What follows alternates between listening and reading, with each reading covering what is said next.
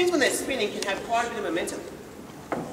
Oh, momentum means they've got a fair bit of energy inside it. The more, the heavier something is and the faster it's moving, the more momentum it has. Now spinning objects want to stay spinning the same angle you start them spinning. Meaning, like when I start them spinning and place it there, it just wants to sit there quite nice and happily.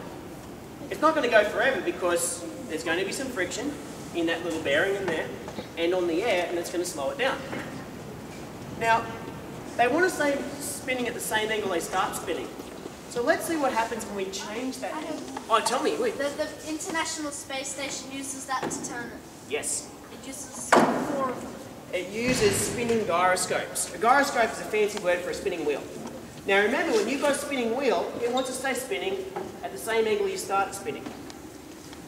If you change the angle of the wheel, if you push on the wheel, guess what? The force comes back at you.